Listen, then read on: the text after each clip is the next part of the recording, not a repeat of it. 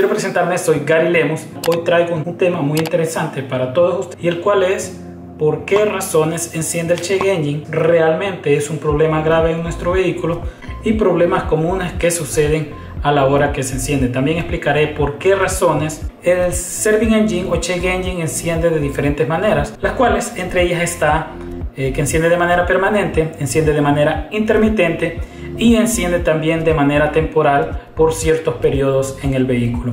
Así que amigos, si quieres saber toda esta información, quédate hasta el final de este video.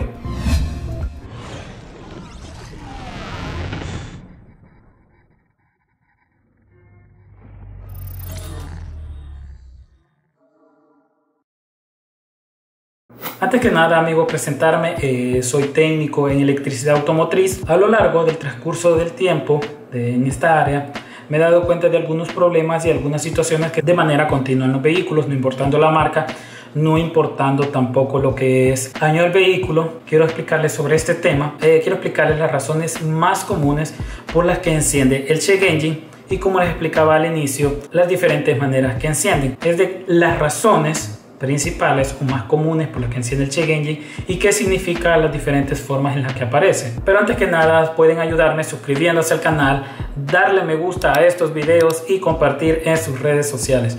Así que amigos, vamos al tema. la primera forma que aparece el check engine o que es la manera correcta en la que enciende es que nuestro vehículo arrancamos y el testigo apaga. Eso está indicando que hay un buen funcionamiento de todos los parámetros que el vehículo está monitoreando y no hay ningún problema en el vehículo. Esa es la manera correcta como debería apagar lo que es el testigo de check. Después está la manera mucho más común y es de que después de haber arrancado el vehículo el testigo se queda de manera permanente.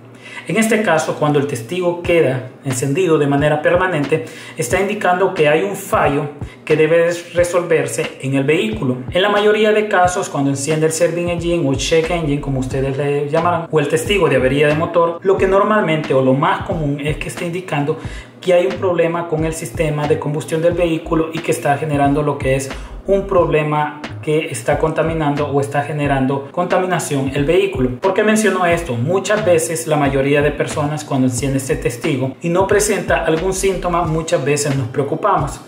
La mejor manera de cómo saber realmente lo que está sucediendo es colocar una herramienta de diagnóstico y confirmar el código que está ingresando. Pero los códigos más comunes o que son mucho más frecuentes en los vehículos cuando enciende lo que es este testigo, yo lo colocaría quizás de esta manera. Enciende cuando hay un problema con el sensor de oxígeno o con el precalentador. Para las personas que no saben qué es el sensor de oxígeno, pues es un sensor el cual está leyendo la manera en cómo se está quemando el combustible bajo la mezcla que él está predeterminado a hacer en la combustión y él está cerciorando esa mezcla que esté de manera correcta. Entonces, pero el factor más común que se daña en ese caso es el precalentador. El precalentador, como lo dice, como lo dice la palabra, una resistencia que precalienta el sensor para que empiece a generar un ciclado mucho más rápido. Eso no importa el año del vehículo, todos los vehículos empezaron a traer una resistencia que calienta el sensor de manera interna para que empiece a funcionar de manera eficiente mucho más rápido y de manera mucho más efectiva. Esa es una de las primeras razones por las cuales enciende el testigo de check engine en el vehículo. Otra razón por la cual él enciende es cuando hay un problema en el sistema EVAP. El sistema EVAP, como ustedes sabrán o por si no lo saben, es el sistema de control evaporativo de los gases que se generan adentro del tanque de combustible. Y lo que hace es esa presión que se genera por el combustible en la parte interna del motor, sacarle un mayor provecho y ingresarlo a lo que es la combustión para poder aprovechar, por así decirlo, hasta lo último lo que es el combustible. Algunas personas, si recuerdan, en los vehículos de antes que no contaban con este sistema, incluso cuando ustedes quitaban lo que es la tapa, destapan lo que es donde echamos lo que es el combustible y se oía el típico y se iba. Entonces el sistema EVAP pues sirve para eso, para que esa presión que se está guardando en el tanque, la ingrese a admisión pero de manera controlada.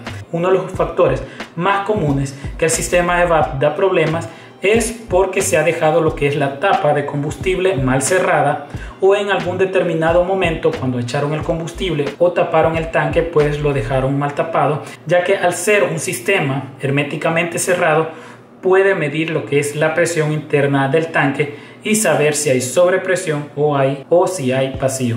Entonces, ese es un tema muy aparte, el cual no voy a ahondar en esto, porque como sabemos, estamos hablando de lo que es el Serving Engine o Check Engine y la razón mucho más común por la que enciende. En el caso cuando el Serving Engine o Check Engine enciende de manera intermitente en el vehículo, lo que nos está indicando que hay un fallo en el sistema de ignición o en el sistema de combustión, pero que puede dañar lo que es el sistema de catalizador de gases de escape, por ende va a generar lo que es contaminación para el medio ambiente.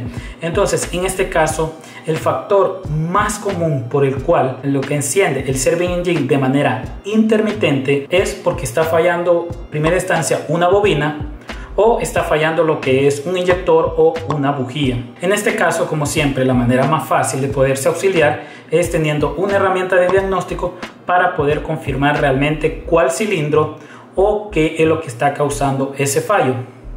Pero como les digo, a manera de experiencia, el factor más común por el cual empieza a destellar el testigo de Serving Engine es porque está fallando una bujía, una bobina o un inyector en el vehículo. En algunos vehículos también aparece de manera intermitente cuando hay un problema con el sistema del cuerpo de aceleración. En otras marcas de vehículos aparece lo que es otro tipo de testigo. Pero en la mayoría de vehículos cuando empieza a aparecer de manera intermitente van a sentir como síntoma lo que es una inestabilidad y también la pérdida de potencia en el motor. Otra forma en la cual enciende lo que es el serving engine o check engine es de manera temporal. De manera temporal explico yo esto porque cuando ustedes encienden el vehículo y queda encendido el testigo de serving engine, pero después de unos ciclos, ciclo se le dice a lo que es arrancarlo y apagar el vehículo, pues después de unos ciclos de manejo, el cual nosotros le decimos ciclos de manejo, cuando el vehículo se apaga y se vuelve a encender por eh, varias ocasiones, el testigo vuelve a apagarse o incluso, o incluso cuando está encendido permanece estático y de repente se apaga. Ese tipo de problemas son problemas intermitentes. En la mayoría de casos se pueden generar por varios factores. Uno de ellos es cuando hay problemas con un arnés o hay un problema de falsos, como nosotros le decimos, que realmente puede ser corrosión en algún toma de algún sensor y lo más probable y lo más probable es que en el momento que encienda el Serving Engine él no está generando lo que es la señal o no está recibiendo esa información que él necesita. Y en ese caso pues va a confirmar de esa manera que eso es de manera intermitente. Así que amigos espero que les haya sido de mucha ayuda lo que es este video puedan haber entendido las maneras y razones por las cuales enciende el check engine. Recuerden lo mejor siempre es llevarlo a un técnico especialista para que les haga una revisión del vehículo y así tener un diagnóstico mucho más certero. Así que amigos, hasta la próxima.